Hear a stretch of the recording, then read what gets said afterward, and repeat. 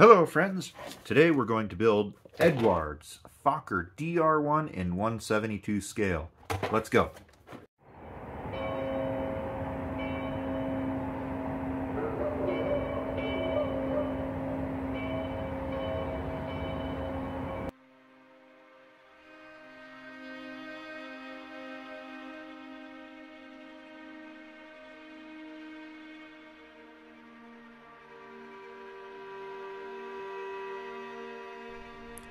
Right off the bat, Eduard Profi packs are great because they come with photo etch parts and masks. So with a little skill and some patience, you can build a very well detailed model with just the contents of the box.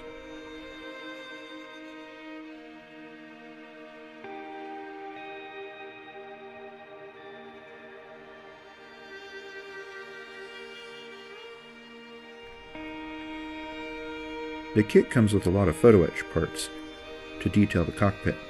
That does require the removal of the molded in cockpit details, and I struggled to find the right tool to cut it out.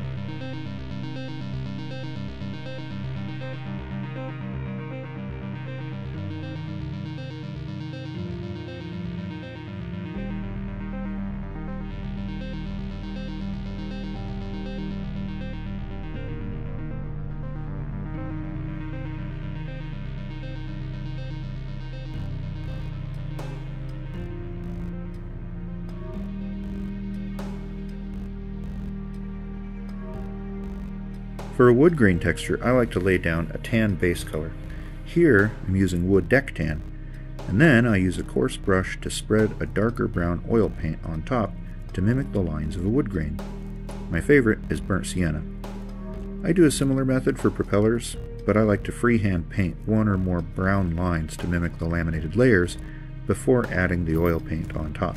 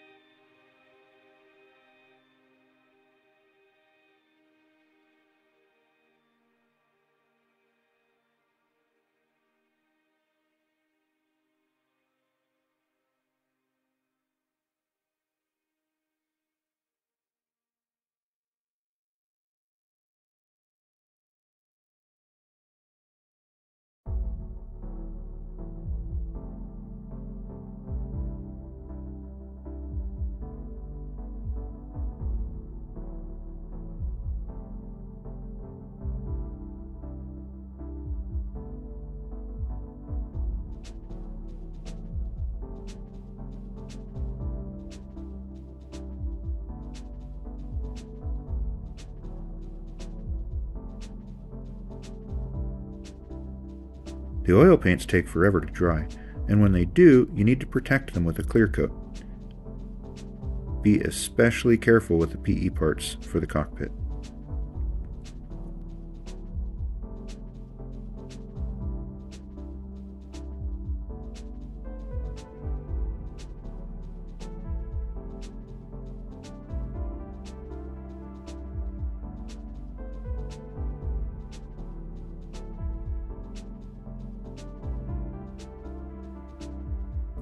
I carefully masked my wood pattern. I think it's cool that the plywood triangle is visible in the cockpit since it was an important part of the DR1's construction, and it creates something interesting to notice in the cockpit.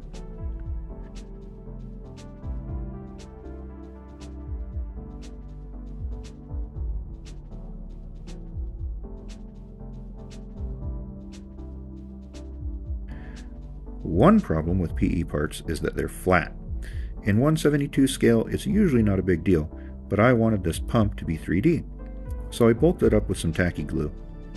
Were I to do it again, I'd do several thinner layers of the glue to avoid that weird divot. As it is though, it's really not that noticeable, but the fact that it's rounded now is.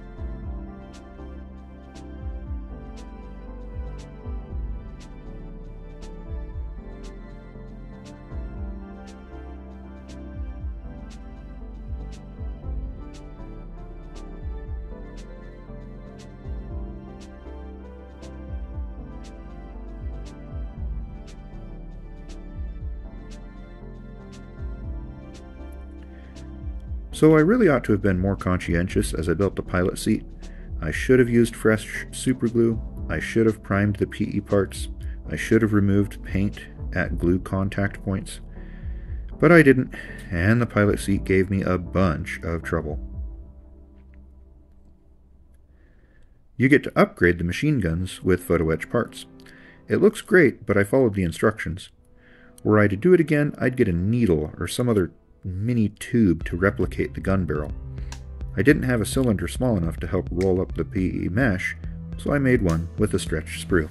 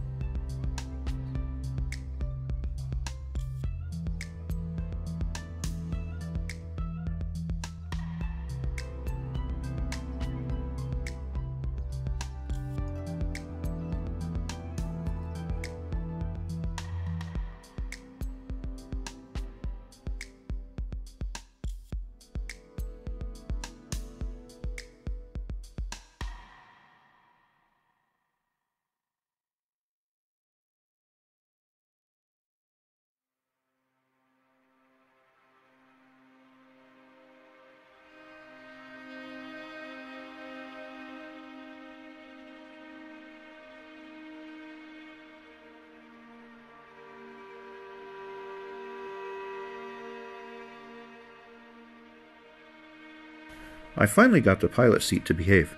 It's nice to have little victories.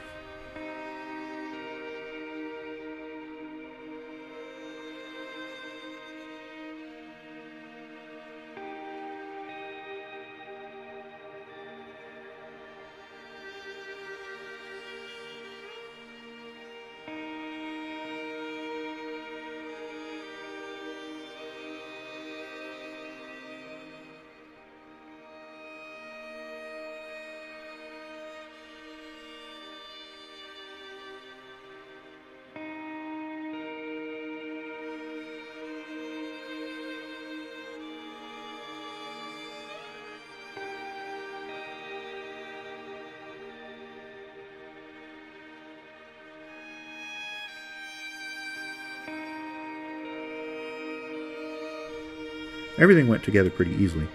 It was nice that there was a huge hole above the cockpit so you could make adjustments if needed.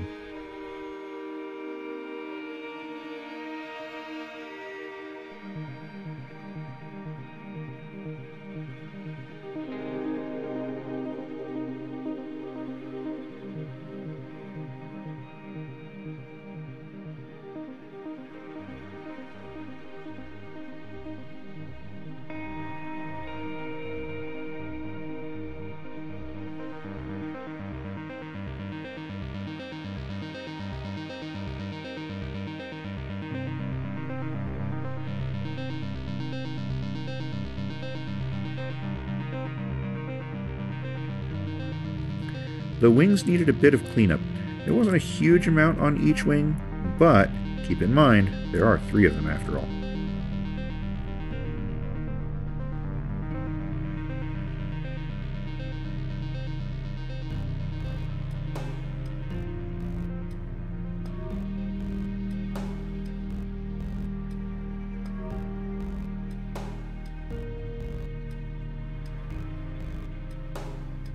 I decided to follow the directions and attach the little elevator doodads now. Don't do that. Wait until you're done with everything else, then put them on, or you'll be searching for microscopic photo etch parts for hours.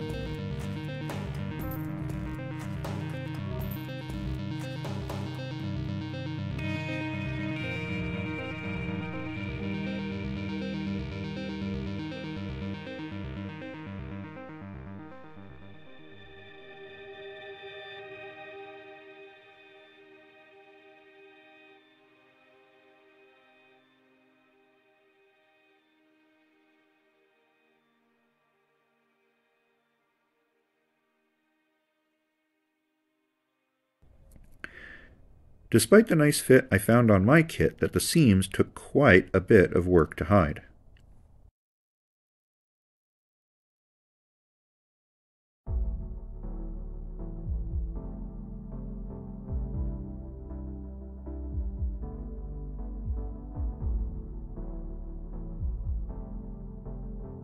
I masked off the cockpit and got ready for the fun part.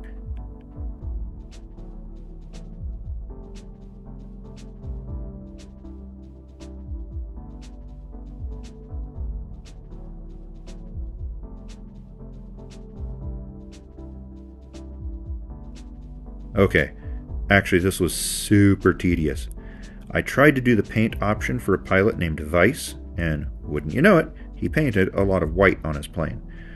So I wanted to do some pronounced pre shading to replicate the translucence of white painted doped canvas. My decision to mask the tiny little lines took forever. There has to be a better way to do this. Seriously, if anyone has a suggestion or a tip or anything to get a similar effect without the mind numbing tedium, please let me know in the comments.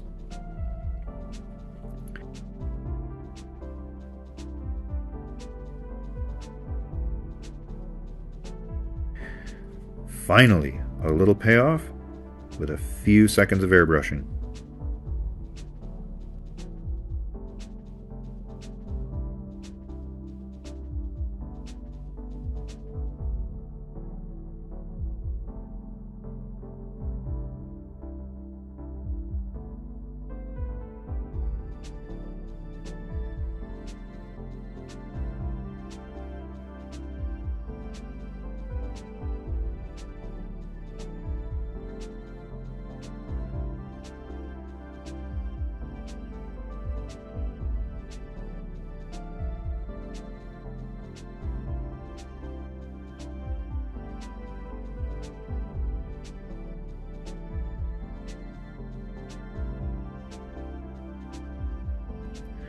I like to use cheap crappy paintbrushes to stir the pot on my airbrush.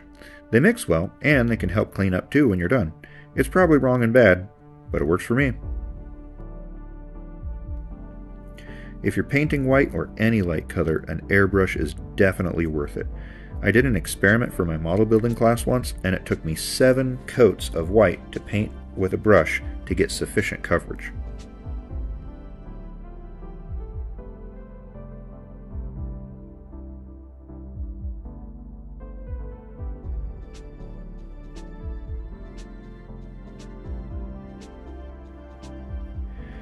And since I had the airbrush out, I decided to knock out some other pieces that would need it.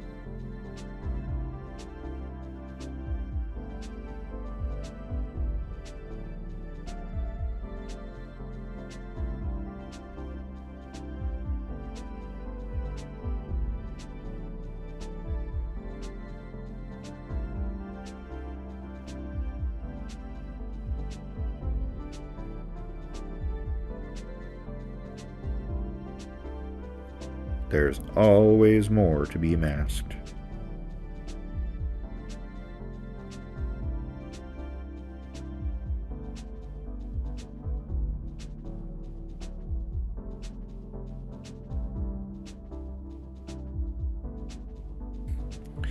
So, when these DR1s weren't completely covered in paint schemes mimicking tropical birds and heat, they had Fokker streaking, which was actually a peculiar camo pattern to World War I German planes, not a college dare. Anyway, anyway, the instructions said that it began with a blue base, and since the underside of the wing was also supposed to be a light blue, I just did it all over.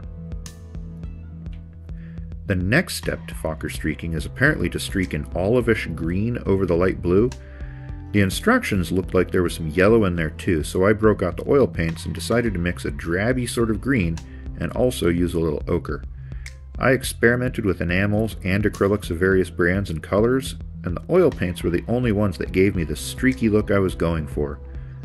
Like an angsty teenager looking out her rain spattered window at the pines in the distance. Anyway, I just dab tiny little dots randomly and then use a flat brush to uh, streak them out. If I were to do it again, I think I'd try for a darker green, or maybe omit, omit the yellow. I like the texture, but I think the shade on mine ended up being too grassy.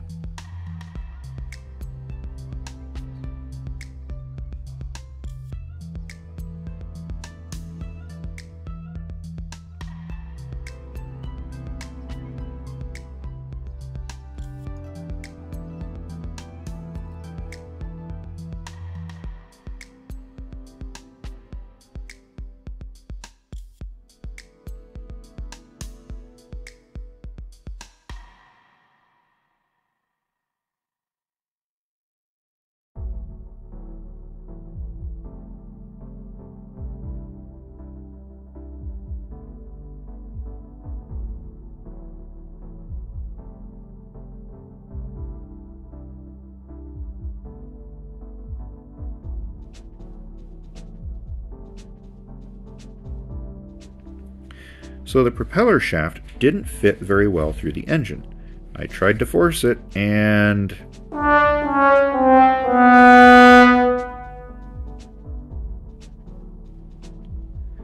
Be sure you fit it carefully, and I guess don't force it. Oh well, nothing a little glue can't fix. One of the neat things, but also daunting things about this model is all of the little doodads. There are a bunch you have to work on even before constructing the airframe, and once the airframe's built, there's a bunch more.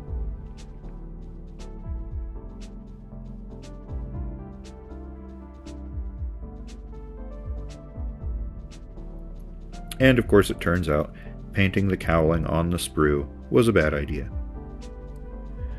Since there aren't many clear parts in the kit, the only masks are for the wheels. Honestly, wheels aren't that hard to paint freehand, but the masks are nice, so why not use them?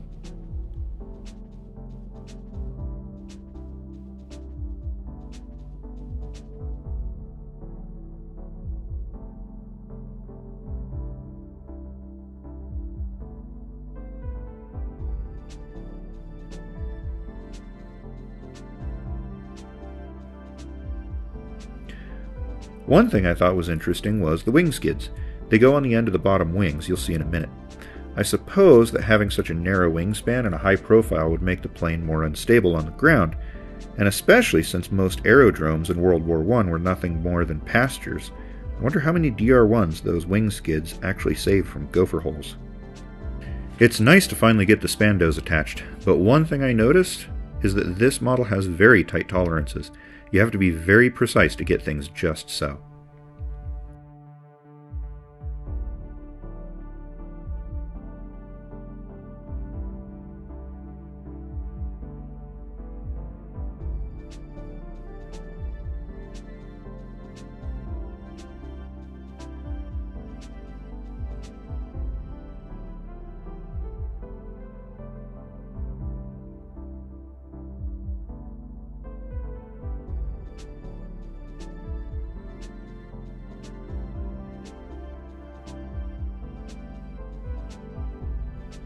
One thing I really liked about this model is how the top wing fit on. If you've ever built a biplane, you know that getting the top wing attached is sort of a rite of passage. Eduard made it a breeze though, and I didn't really have any issues getting it to sit right down like it wanted to be there. Probably the three wing design helps. Thanks, Mr. Fokker.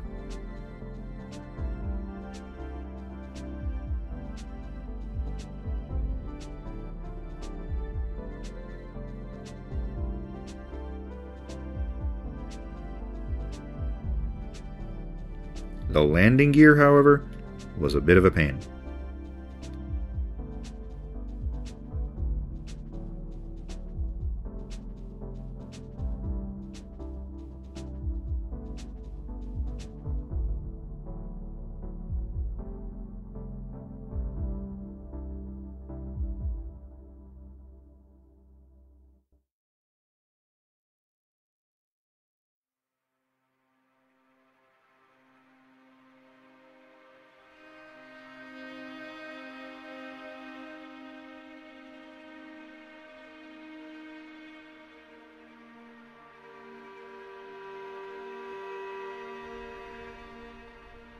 One of my favorite parts of any build is the decals. Eduard has never let me down with their decals. They're thin, they seat nicely, and they react well to decal solution.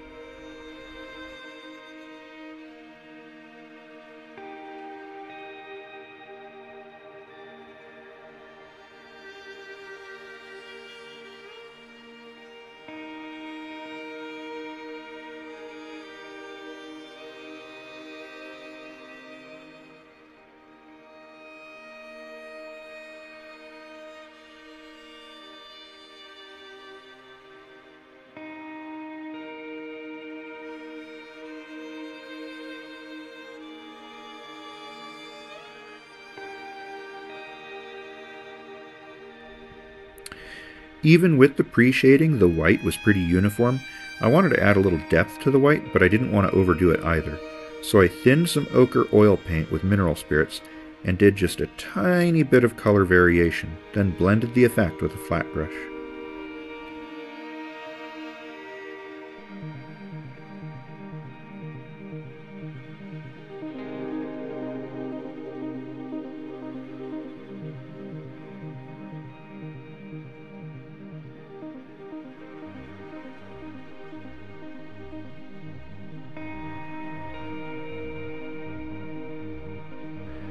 I also added just a little oil smear.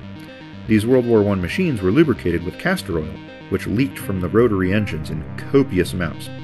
The poor pilots had to endure several hours of castor oil mist every time they went up, and many had to rush to the outhouse straight after landing as a result.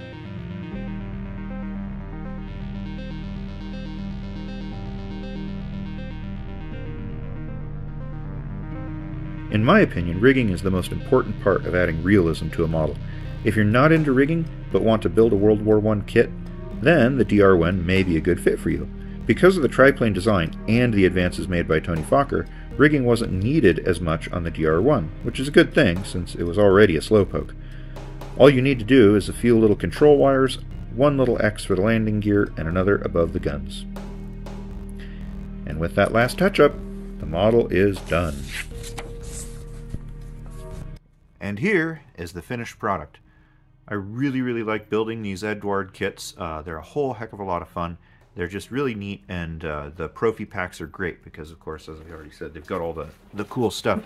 So if you're interested in building a really well detailed and really nice little kit, uh, this is a great one to do. So there is that. There's a bunch of things that uh, uh, frustrated me about it, but mostly that's because I'm, I'm an idiot. Like, for example, um, can you see? Uh, focus. Focus on this, not on me. Oh well, anyway, there's those two dots on the horizontal stabilizer on the top. That's because I glued the horizontal stabilizer uh, on upside down. So a lot of headache can be saved um, when build, building this if you're not a moron. So so there is that. Um, there's a bunch of other little things, you know, that uh, um, was mostly my fault because I just wasn't paying attention or I was maybe rushing or that sort of thing. I put a fingerprint on the uh, uh, Fokker streaking. Oh, right here on the bottom wing, you can see. And so that's annoying. That's something that I'll have to deal with later. I just didn't have the heart to uh, basically fill it in with putty. And then, of course, uh, sand it and all that kind of stuff. Or fix the fingerprint yet. So I'll get to it one day. I think uh, I would like to enter this into a, a model show because I think it's a cool little thing. It's kind of a neat little guy. Anyway, I hope you enjoyed the build, um, and uh, of course, I, as always, wish you joy in your lives, and we'll see you again soon.